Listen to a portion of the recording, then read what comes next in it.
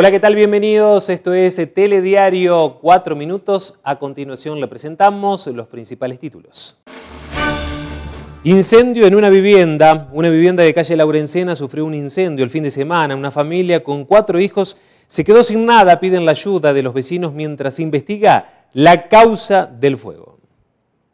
La primavera y el amor científicos aseguran que la primavera predispone a las personas a enamorarse. Salimos a la calle, hablamos con la gente sobre esta estación que se inició el viernes. La pregunta es, ¿ayuda a enamorarse? Fin de semana, ha pasado el fin de semana largo con una ocupación hotelera del 93% y muchos familiares reencontrándose por el descanso en la terminal. Hubo un intenso movimiento y compartimos algunos testimonios. El gobernador de la provincia de Entre Ríos, Sergio Uribarri, está acompañando a la presidenta de la Nación, Cristina Fernández, quien va a estar haciendo su exposición en la cumbre de las Naciones Unidas en Nueva York, Estados Unidos. Cristina Fernández arribó a Nueva York, ciudad en la que va a participar de la Asamblea General de las Naciones Unidas y va a disertar en Harvard. En tanto, el gobernador de Entre Ríos, Sergio Uribarri, es el único mandatario provincial que participará el próximo viernes de un almuerzo y reunión especial del Council of de las Américas. Uribarri expondrá sobre la realidad, la evolución y las perspectivas de la provincia de Entre Ríos en el marco de la Argentina y de la región e invitará a todo el empresariado enterriano a que lo acompañe.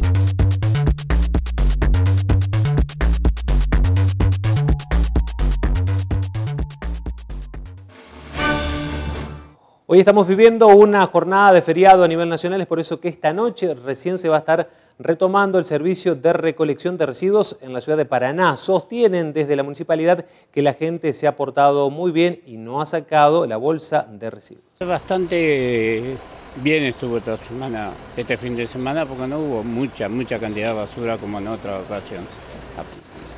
¿La gente respondió bien? ¿Se portó como debe comportarse un ciudadano? No respondió lo que tiene que responder, pero un 60% más o menos cumplió. Asaltaron e incendiaron lo que es el santuario de Gauchito Gil en la zona del acceso norte, en la ciudad de Paraná. El día domingo nosotros venimos preparados a, enfrentar un día más junto a los devotos de Cauchito Gil y nos encontramos con un, terrible boquete en la pared y, saliendo fuego de, su interior y cuando entramos el terror nuestro fue que estaba todo roto y encendiado. Alcanzamos a apagar y salvar muchas cosas, pero eh, las imágenes mayores se destrozaron. ¿Tienen algún tipo de sospecha de quién pudo haber ocasionado esto? Y nosotros no, no eh, son 35 veces que nos van robando, rompiendo la pared, el techo, la, puerta de la entrada. Bueno. Le presentamos el pronóstico del tiempo. Para lo que resta de la tarde-noche, cielo nublado, probabilidad de lluvias y tormentas aisladas, vientos moderados a regulares del sector sur con ráfagas. Esto ha sido Telediario de 4 minutos. Nos reencontramos.